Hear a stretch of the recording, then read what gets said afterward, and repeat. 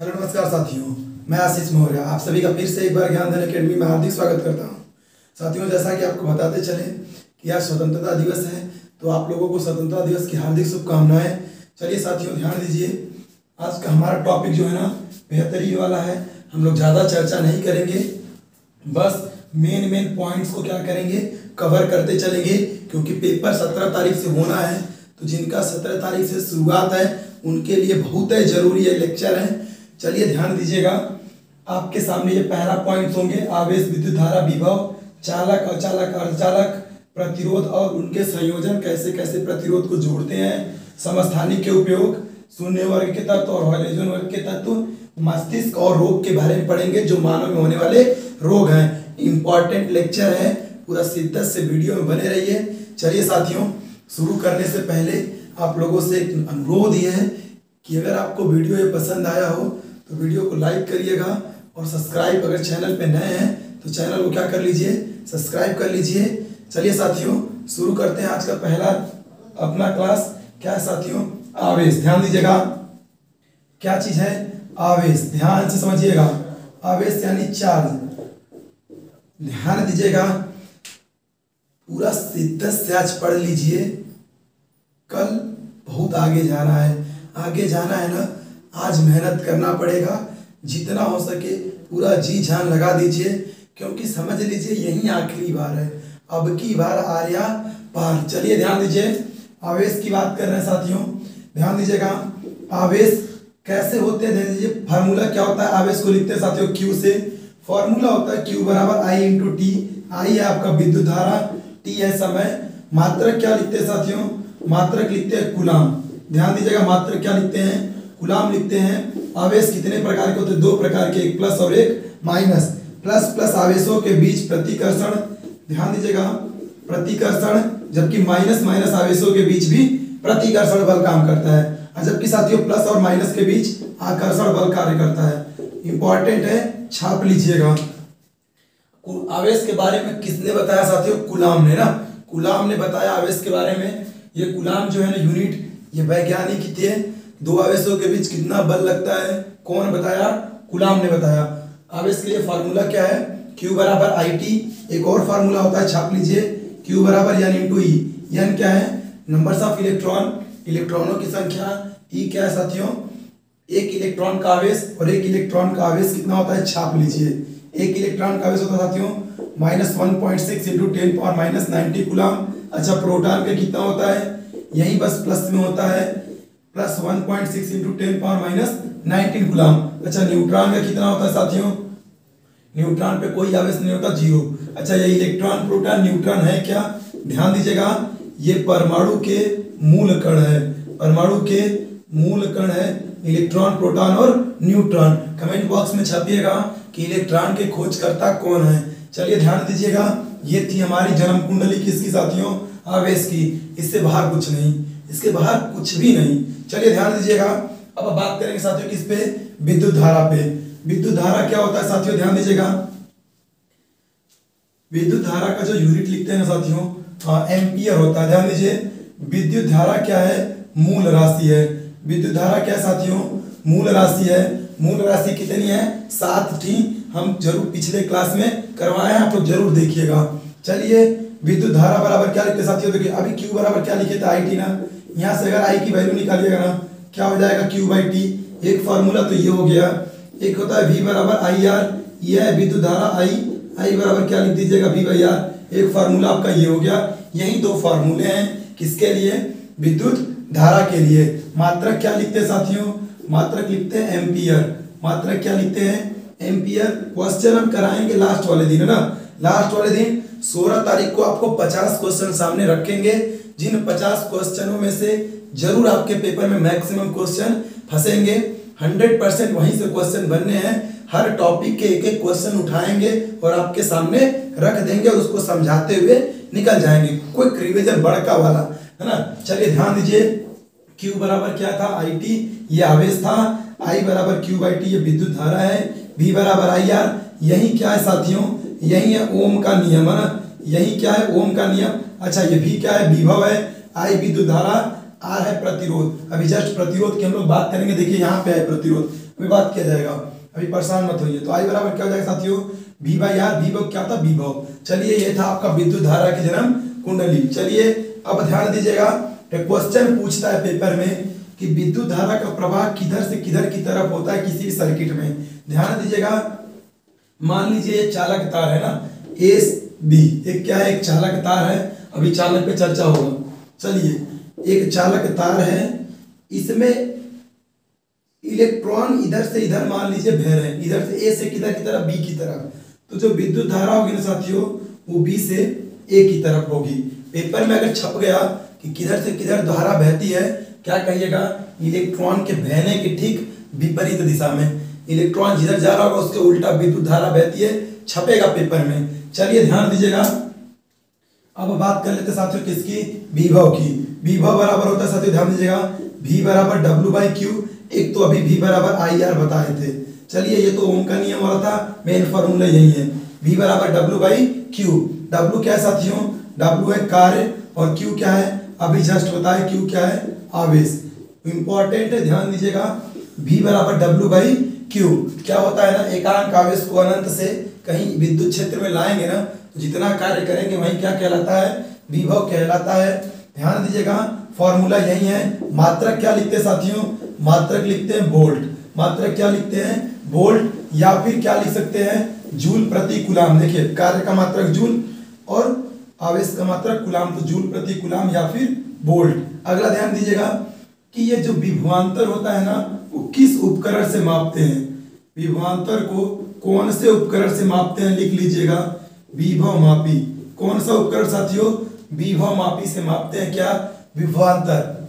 अच्छा ध्यान दीजिएगा, एक विद्युत धारा को मापने वाला यंत्र क्या है? विद्युत धारा को मापते हैं एमीटर, अमीटर ना? हाँ एमीटर या अमीटर से मापते हैं। अच्छा कमेंट बॉक्स में छापिएगा कि विद्युत धारा की उपस्थिति कौन मापता है ना? किस यंत्र से विद्युत धारा की उपस्थिति को मापते हैं? ये हमारा विभव भी क्या हो गया साथियों? कंप्लीट हो गया, कोई दिक्कत नहीं। अगला ध्यान दीजिएगा, चालक की बात करेंगे। चालक क्या होता है साथियों?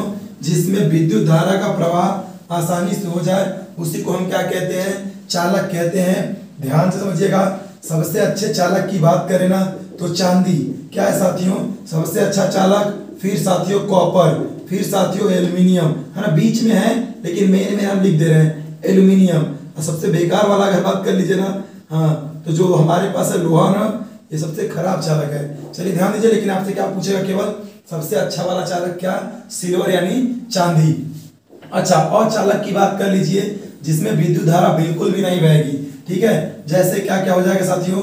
रबड़ हो जाएगा, है ना? रबड़ हो गया, प्लास्टिक हो गया, ध्यान दीजिएगा, प्लास्टिक हो गया, और फिर इसके बाद कांच हो गया, है ना?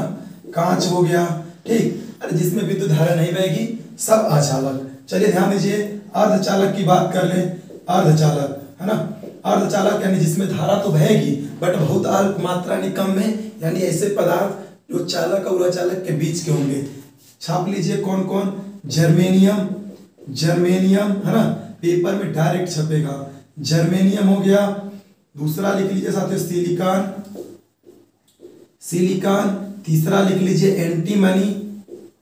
चौथा लिख लीजिए साथियों, विस्मत, है ना? डायरेक्ट आपसे साथ में ये टकराने वाले हैं। जर्मेनियम, सिलिकॉन, एंटीमनी और विस्मत, ये क्या है? अर्धचालक है। चलिए ध्यान दीजिएगा। एक क्वेश्चन पूछ लेता है ना कि क्या ग्रेफाइट में विद्युत धारा बहती है? तो जी हाँ इसमें विद्युत धारा बहती है जबकि हीरे में विद्युत धारा नहीं बहती है है ना? और ये दोनों हैं क्या? कार्बन के अपरूप है। क्या है? कार्बन के अपरूप है। कौन? हीरा ग्रेफाइट और एक और है, फुलरिन, है ना? फुलरिन और ये कैसे अपरूप है? ये क्रिस्टली अपरूप है। कैसे अपरूप है? क्रिस्टली। और क्रिस्टली में कौन होता है? आपका लकड़ी हो गया सुगर चारकोल हो गया कोयला हो गया ना ये अक्रिस्टली अपरूप है। हाँ, जबकि क्रिस्टली में यही तीन आइए हैं। चलिए ध्यान दीजिएगा आपका चालक कंप्लीट अचालक कंप्लीट और अर्धचालक कंप्लीट। आ जाइए किस पे? प्रतिरोध और प्रतिरोध का संयोजन। क्विक रिवीजन है ध्यान दीजिए। बस हम उसी पॉइंट पे बात करेंगे जो पेपर की दृष्टिकोण से महत्वपूर्ण है। चलिए ध्यान दीजिए, प्रतिरोध यानी रेजिस्टेंस की बात कर रहे हैं। समझते चलिएगा, प्रतिरोध क्या होता है? जो विद्युत धारा को भेने क्या करता है? सर्किट में रोकता है, वही प्रतिरोध होता है। अभी जस्ट बताए थे, किसे इंडिकेट करते हैं? आर से, और इसका परिपथ कैसा होता है साथियों? इसका प्रतीक ऐसे होता है ना? हाँ इसका प्रतीक है ये ये प्रतिरोध का सिंबल है, और इसको प्रदर्शित किससे करते हैं? साथियों, आर से करते हैं। फॉर्मूला क्या हो जाएगा? ध्यान दीजिएगा। अभी भी बराबर क्या लिखे थे हम? आई आर ना? तो आर बराबर निकालिएगा तो क्या हो जाएगा? भी बाई आई यह आपका क्या है? हाँ सूत्र है। मात्रक क्या लिखिएगा? मात्रक देखिए वोल्ट प्रति एम्पियर क्या लिख दीजिए? वोल्ट प्रति एम्पियर अच्छा वोल्ट प्रति एम्पियर कोई क्या लिखते साथियों? ओम लिखते हैं ना? ओम भगवान, है ना? क्यों? क्योंकि ओम ने ही नियम दिया था। उसी में ये प्रतिरोध निकल के आया था, इसीलिए ओम इसका क्या है? मात्रक है। पेपर में डायरेक्ट छपेगा, प्रतिरोध का मात्रक है तो ऑप्शन ढूंढ लीजिएगा ओम, है ना? चलिए, प्रतिरोधों को दो तरीके से क्या करते साथियों? दो तरीके से परिपथ में जोड़ते हैं। कौन कौन सा क्रम? श्रेणी क्रम एक बोलते हैं सीरीज़, एक सीरीज़ और एक समांतर क्रम। श्रेणी क्रम में कैसे? अभी सिंबल देखिए, ऐसे, एक के जस्ट बाद क्या जोड़ देंगे? दूसरा। दूसरे के जस्ट बाद क्या जोड़ देंगे? तीसरा ना? तो आर वन आर टू और आर थ्री लिख देते हैं। समांतर क्रम में कैसे जोड़ते हैं? एक जोड़ लीजिएगा, फिर से क्या जोड़िएगा? दूसरा जोड़ लीजिएगा, फिर से क्या करिएगा? तीसरा जोड़ लीजिएगा। ये आर वन हो गया, ये आर टू हो गया। देखिए एक का जगह पे देखिए, तीनों का टर्मिनल जोड़े हैं। और जबकि यहाँ पे अलग अलग है तो ये श्रेणी क्रम और नीचे वाला समांतर क्रम। फॉर्मूला क्या लिखते हैं? आर बराबर R one plus R two plus R three plus जहाँ तक होगा, जहाँ तक जोड़ दीजिएगा। समांतर क्रम के लिए सूत्र क्या लिखते हैं? एक बट्टे आर बराबर एक बट्टे आर वन प्लस एक बट्टे आर टू प्लस एक बट्टे R three plus dash dash dash जट होगा सबको जोड़ दीजिएगा। किसके लिए सूत्र है साथियों? तुल्य प्रतिरोध के लिए। श्रेणी क्रम में कई सारे प्रतिरोध जुड़े हों और आपसे तुल्य प्रतिरोध पूछे तो ये फॉर्मूला ऐसा समझ लीजिए, दो ओम का ये दे दे, तीन ओम का ये, चार ओम का ये। तो दो, तीन, पाँच, चार, नौ आंसर है। इसमें दे दे, तीन तीन तीन, मान लीजिए दे दिया तो एक बटे तीन प्लस एक बटे तीन प्लस एक बटे तीन जोड़ दीजिएगा, एक आ जाएगा आंसर। अलग अलग दे सकता है अब कर लीजिएगा। तो ये दोनों आपके सामने फॉर्मूले हैं, किसके लिए साथियों? प्रतिरोध के लिए। मात्रक क्या होता है? ओम होता है। सिंबल क्या है? सिंबल ये है आपका। और इंडिकेशन किससे है? आर से। फॉर्मूला क्या है? आर बराबर वी बाई आई कहाँ से आया? ओम के नियम से। चलिए ध्यान दीजिएगा। संयोजन भी कंप्लीट प्रतिरोध भी कंप्लीट अब जो सबसे इंपॉर्टेंट और खतरनाक वाला है कौन सा समस्थानिकों के उपयोग। समस्थानिक कहते हैं किसे साथियों? आवर्त सारणी में जिन तत्वों का स्थान एक ही है है ना? एक ही है, उसी को क्या कहते हैं? समस्थानिक कहते कमेंट बॉक्स में छापिएगा कि आवर्त सारणी में कुल टोटल कितने तत्व हैं? चलिए ध्यान दीजिएगा, समस्थानिक की बात कर रहे हैं साथियों, है ना? समस्थानिक की बात कर रहे हैं अंग्रेज़ी में क्या कहते हैं साथियों? आइसोटोप ना? आइसोटोप्स कहते चलिए हाइड्रोजन के कितने समस्थानिक है? तीन, है ना? One H one one H two one H three अच्छा एग्जैक्ट परिभाषा देखिए क्या देते हैं कि ऐसे तत्व ना, ऐसे तत्व जिनका परमाणु क्रमांक समान हो, द्रव्यमान संख्या क्या हो? अलग अलग हो। क्या कहलाएँगे समस्थानिक? देखिए जो नीचवा लिखे परमाणु क्रमांक होता है और खोपड़ी में जो लिख दिए हैं, वो द्रव्यमान संख्या या परमाणु भार कहलाता है। चलिए ध्यान दीजिएगा। ये देखिए सब सेम है तो समस्थानिक ठीक है? कोई दिक्कत होनी नहीं चाहिए। तो कितने हाइड्रोजन के समस्थानिक पेपर में डायरेक्ट छपता है कि हाइड्रोजन के कुल कितने समस्थानिक हैं? तीन। कभी कभी कैसे पूछेगा, इनमें से हाइड्रोजन का कौन सा समस्थानिक नहीं है? चार ऑप्शन दे देगा, तीन तो है है ना? चलिए क्या क्या है? नाम छाप लीजिए। प्रोटियम प्रोटियम दूसरा साथियों ड्यूटीरियम ड्यूटीरियम और तीसरा साथियों ट्राइटियम है ना? ट्राइटियम इंपॉर्टेंट छाप लीजिए। है जो ड्यूटीरियम है ना, इसी का उपयोग करते हैं डी को बनाने में। और ये डी क्या है साथियों? भारी जल ना। भारी जल का फॉर्मूला है क्या? ड्यूटीरियम ऑक्साइड डी टू कहाँ पे उपयोग करते हैं? मंदक के रूप में। कहाँ पे? न्यूक्लियर भट्टी है ना। नाभिकीय भट्टी में। नाभिकीय भट्टी में। किसके रूप में उपयोग करते साथियों? हाँ मंदक के रूप में ना। कहाँ पे? नाभिकीय भट्टी में। ठीक है? नाभिकीय भट्टी के द्वारा क्या करते हैं? पानी को गर्म करके, है ना, भाप बनाते हैं और उसी भाप से बॉयलर को चलाते हैं विद्युत धारा उत्पन्न करते हैं। चलिए ध्यान दीजिएगा नाभिकीय भट्टी में एक पदार्थ है जो ईंधन के रूप में यूज़ होता है, छाप लीजिए, यूरेनियम, ना? हाँ एटॉमिक नंबर बानवे, है ना, यूरेनियम को यूज़ करते हैं। यूरेनियम के समस्थानिक को ही नाभिक की भट्टी में ईंधन के रूप में यूज़ किया जाता है और इसी यूरेनियम को भविष्य का ईंधन बोला जाता है। चलिए ध्यान दीजिए, ये ट्राइटियम क्या साथियों? ये ट्राइटियम है ना रेडियो एक्टिव तत्व है। कैसा तत्व है? रेडियो एक्टिव तत्व है। अब रेडियो एक्टिव तत्व क्या होते हैं? जिनसे स्वतः अल्फ़ा बीटा और गामा किरणें क्या होती रहती है? निकलती रहती हैं। ठीक है? सबसे ज़्यादा विभेदन क्षमता किसकी है? इसी गामा किरण की ना। कितना विभेदन क्षमता है? दो मीटर मोटी एल्यूमिनियम की चादर को यह क्या कर सकता है साथियों? भेद सकता है।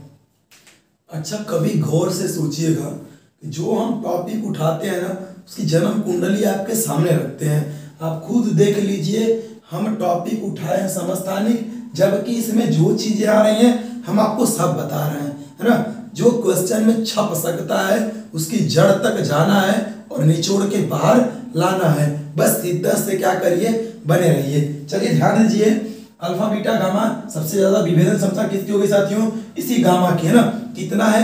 दो मीटर मोटी एल्यूमिनियम की चादर को भेद के आर पर चला जाएगा। अभी ध्यान दीजिएगा, पेपर में क्या पूछता है कि रेडियो एक्टिव रेडियो एक्टिवता जो होती है ना हाँ रेडियो एक्टिवता उसकी खोज किसने किया? छाप लीजिए, हेनरी बेकुरल। कौन किया साथियों? हेनरी बेकुरल ने ना, हेनरी बेकुरल ने रेडियो एक्टिवता की खोज किया। जबकि जबकि एक तत्व तो है, लिख लीजिएगा कौन सा है साथियों? है ना इंपॉर्टेंट छाप लीजिए रेडियम है ना? रेडियम, ठीक है? हाँ रेडियम है, ठीक। खोज कौन किया? मैडम क्यूरी और पियरे क्यूरी। बार बार में पूछा है है ना? मैडम क्यूरी और दूसरा पियरे क्यूरी। ध्यान दीजिएगा, मैडम क्यूरी और पियरे क्यूरी। दोनों हस्बैंड और वाइफ थे, ठीक है? किसकी खोज की है? रेडियम की। रेडियम क्या एक रेडियो एक्टिव एलिमेंट है? कहाँ पे यूज़ करते साथियों? वो जो रोड पे आप हाईवे पे जाते होंगे ना बड़ा बड़ा जो बैनर लगा रहता है, लाल, पीला, हरा वाला, है ना? वो रेडियम का ही मतलब उसमें रेडियम की मात्रा होती है। चलिए ध्यान दीजिएगा तो प्रोटियम ड्यूटीरियम और ट्राइटियम किसके समस्थानिक हो गए साथियों? हाइड्रोजन के ना। ये किसके समस्थानिक है? हाइड्रोजन के कितने समस्थानिक है? टोटल तीन है। आपके सामने तीनों छपे हैं। ड्यूटेरियम का भारी जल बनाने में, भारी जल का उपयोग मंदक के रूप में कहाँ पे, नाप की भट्टी में, ठीक है? नाप की भट्टी में ईंधन के रूप में क्या प्रयोग करते हैं? यूरेनियम और यूरेनियम क्या एक रेडियो तत्व है? और रेडियो एक्टिव तत्व जिनसे अल्फ़ा, बीटा, गामा कीड़े उत्सर्जित होती हैं, सबसे ज़्यादा विभेदन क्षमता गामा की होती है। ध्यान दीजिएगा, कौन खोज किया रेडियो एक्टिवता की? हेनरी बेकुरल, रेडियम की खोज मैडम क्यूरी और पियरे क्यूरी। चलिए इसकी जन्म कुंडली। अच्छा ये हाइड्रोजन का समस्थानिक था, कुछ इंपॉर्टेंट करके छाप लीजिए। कुछ समस्थानिकों का उपयोग कहाँ कहाँ पे करते हैं? कार्बन जैसे देखिए, कार्बन का एक मेन समस्थानिक कौन साथियों? कार्बन चौदह। छापते चलिए। कार्बन चौदह जीवाश्मों की आयु निर्धारित करने में। जीवाश्मों की आयु का निर्धारण किससे करते साथियों? कार्बन चौदह से ना? जीवाश्मों की आयु का निर्धारण, यानी यही ना, जो पुराने चीज़ जीवित रहे हों, है ना, आज मर गए हों, उनका कुछ अंश बचा हो, हम पता कर लेंगे कितना पुराना ये जीव था, या फिर ये कितना साल पुराना है, ठीक है? यही है कार्बन डेटिंग प्रणाली, यानी कि जीवाश्मों की आयु निर्धारित करना। आयोडीन वन थ्री वन छाप लीजिए। आयोडीन वन थ्री वन है ना? किसमें साथियों? घेंगा रोग। कौन सा रोग? घेंगा रोग के उपचार में, है ना? आयोडीन वन थ्री वन का उपयोग कहा करते? घेंगा। यहीं पे क्या होती है साथियों? यहीं पे गला का क्या होता? फूल जाना ना? घेंगा है। ध्यान दीजिएगा। अगला छाप लीजिए। अगला छाप लीजिए कोबाल्ट सिक्सटी, है ना? कोबाल्ट सिक्सटी कहाँ पे उपयोग करते साथियों? कैंसर के उपचार में ना? कैंसर के उपचार में कोबाल्ट सिक्सटी, अगला लिख लीजिएगा सोडियम, है ना? सोडियम कितना साथियों? सोडियम ट्वेंटी फोर, यानी अन्य ट्वेंटी फोर, कहाँ पे उपयोग करते? रक्त परिसंचरण हाँ रक्त परिसंचरण तंत्र में ना? हाँ रक्त परिसंचरण तंत्र के जानकारी के लिए किसका उपयोग करते साथियों? सोडियम ट्वेंटी फोर का। अभी यूरेनियम का बता ही दिए। यूरेनियम कहा करते साथियों? हाँ ईंधन के रूप में कहाँ पे? नाभिकीय भट्टी में। ये इंपॉर्टेंट थे। पेपर में डायरेक्ट पूछ लिए जाते हैं। चलिए, अगला ध्यान दीजिएगा। शून्य वर्ग के तत्व जो सबसे इंपॉर्टेंट है बार बार पूछता है। शून्य वर्ग हाइड्रोजन वर्ग के तत्व ना हाँ कहाँ पे है ही आवर्त सारणी में ना, हम दोनों बना दे रहे हैं। कौन शून्य वर्ग है, कौन हाइड्रोजन परिवार है ना। चलिए, ध्यान दीजिएगा। आवर्त सारणी में कुल वर्ग कितने साथियों? अठारह। हम लास्ट का अठारहवा ले रहे हैं और सत्रहवा ले रहे हैं ना। हाँ टोटल अठारह वर्ग हैं। और सात ठो आवर्त हैं। चलिए ध्यान दीजिएगा। अठारहवें में क्या है साथियों? हीलियम, नियान, आर्गन, है ना? क्रिप्टान और जेनान और रेडान। मेन में ले ले रहे हैं, ठीक है? Helium, neon, argon, krypton, xenon और रेडान। इसमें क्या है साथियों? फ्लोरीन, क्लोरीन, ब्रोमीन, आयोडीन, एटेटेनियम करके होगा, ठीक है? चलिए मेन है, वही चार ही है ऊपर। ध्यान दीजिएगा। अच्छा ध्यान समझिए। हीलियम हो गया नियान हो गया, आर्गन, क्रिप्टॉन, जेनान और रेडान। ये कौन से वर्ग के तत्व हैं साथियों? अठारहवें वर्ग के तत्व हैं। इनको किस नाम से जानते हैं? छाप लीजिए। अक्रिय गैस या फिर उत्कृष्ट गैस से लिखी होंगी। अक्रिय गैस या फिर उत्कृष्ट गैस, है ना? अक्रिय गैस, उत्कृष्ट गैस, शून्य वर्ग के तत्व, शून्य वर्ग के तत्व। और एक छाप लीजिए। अच्छा अठारहवा तो है। शून्य वर्ग के तत्व, अक्रिय गैस और लिख लीजिए नोबल गैस, है ना? Noble gas. कई नाम है, देखिए, इतने जो थे नाम हम आपके सामने लिख दिए, ठीक है? और अठारहवा ग्रुप का तो तत्व ये है ये है। खास बात क्या है? खास बात ये है ना कि इनके आउटर सेल में ना हाँ पूरे पूरे इलेक्ट्रॉन भरे होते हैं। इनका आउटर सेल, यानी बाहरी कक्षा पूरी तरीके से भरी है, इसीलिए कौनों से कोई क्रिया नहीं करते हैं। है ना? किसी और पदार्थ से या किसी अन्य तत्व से कोई क्रिया नहीं करेंगे। क्यों? क्योंकि इनका आउटर सेल भरा होता है। चलिए ध्यान दीजिएगा। इसीलिए इसको क्या कहते हैं? अक्रिय, है ना? और ये सारी क्या है साथियों?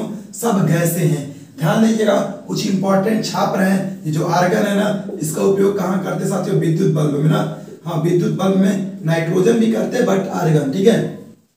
चलिए ध्यान दीजिए। अब आ जाइए सत्रहवें वर्ग ना? क्या कहते हैं इसको? हाइलोजन परिवार के तत्व।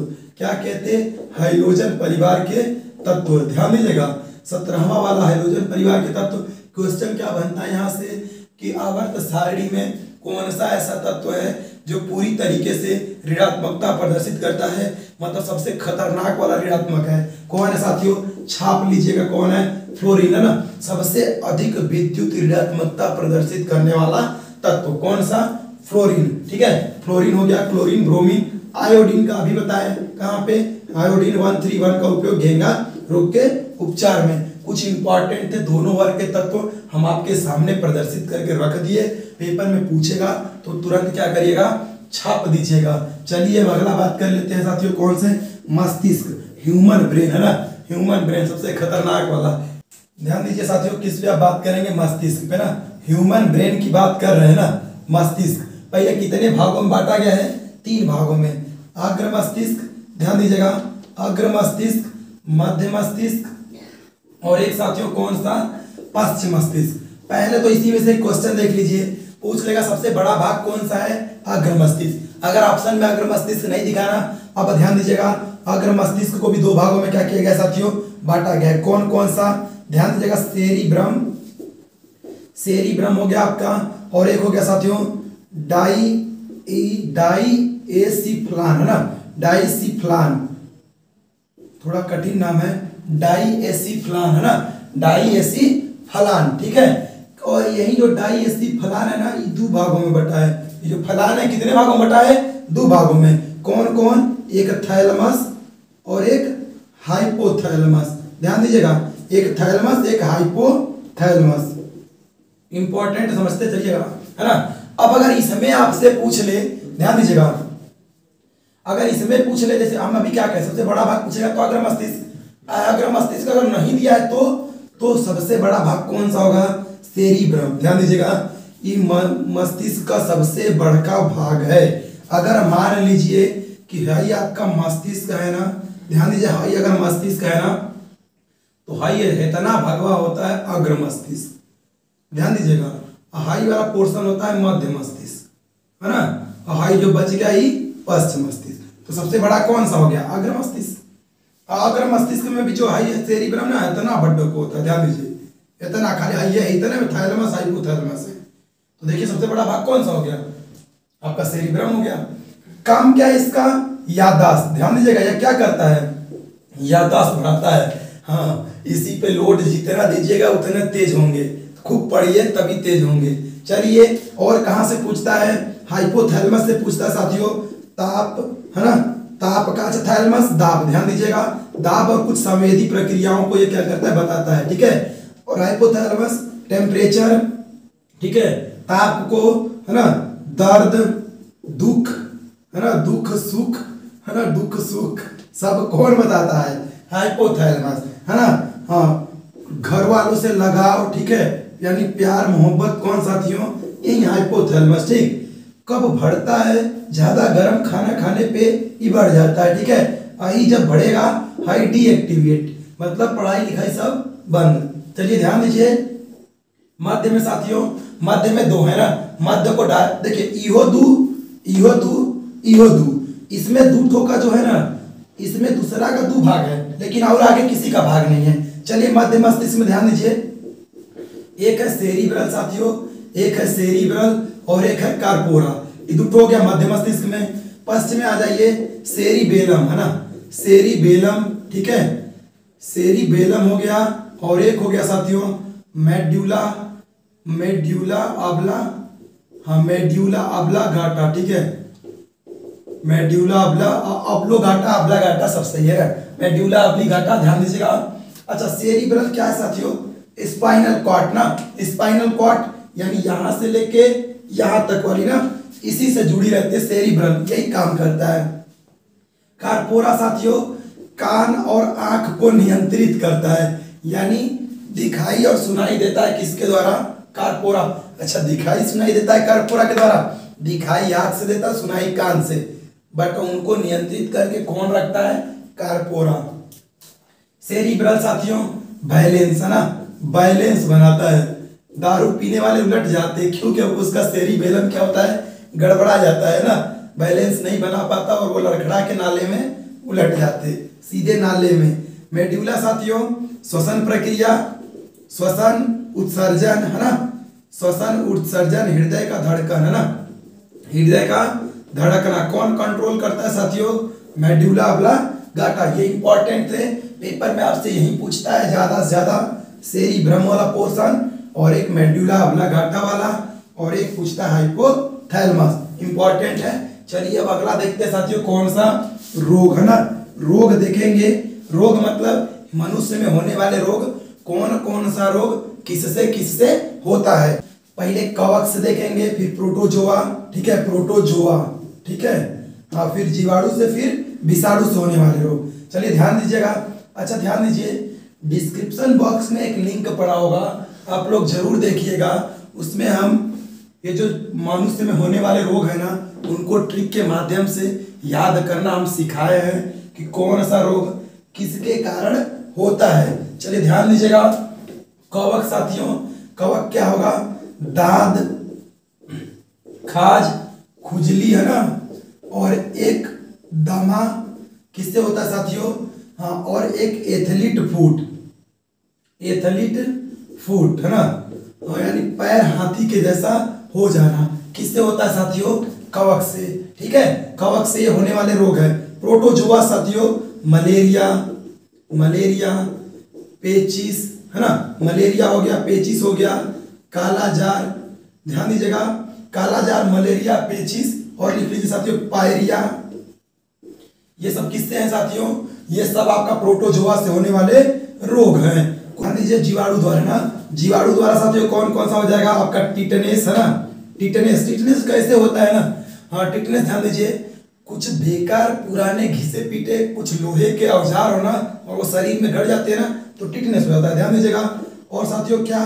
प्लेग, डिप्थीरिया डिप्थीरिया, ध्यान दीजिएगा। कालरा, काली खांसी। है ना, ये सब क्या है साथियों? ये किससे होने वाले रोग हैं? जीवाणु द्वारा होने वाले रोग हैं। चलिए ध्यान दीजिएगा। अब किससे बात करें? साथियों, विषाणु से होने वाले रोग ना? विषाणु द्वारा होने वाले रोग। ट्रिक से बताएँ, आप लोग ज़रूर विज़िट करिएगा। एड्स, चेचक, इन्फ्लुएंजा, डेंगू, खसरा, पेचिस। पेचिस तो साथियों, इसमें हो गया ना? पेचिस पोलियो लिख लीजिएगा। पोलियो ईटीसी ठीक है? ये किससे होने वाले रोग है साथियों? ध्यान दीजिएगा, ये विषाणु द्वारा होने वाले रोग हैं। आपके सामने क्या किया आज वाले टॉपिक्स को देखिए, क्या किए? कंप्लीट कर दिए। ये वाला टॉपिक ये भी कंप्लीट प्रतिरोध संयोजन कंप्लीट समस्थानिकों के उपयोग। और ये शून्य वर्ग और हाइड्रोजन वर्ग और मस्तिष्क और रोग। इंपॉर्टेंट टॉपिक तो हम कवर कर ले रहे हैं। अगर आप पिछले वीडियो को नहीं देखे हैं, ज़रूर देखिए साथियों। मिलते हैं साथियों अगले वीडियो में। तब तक के लिए धन्यवाद।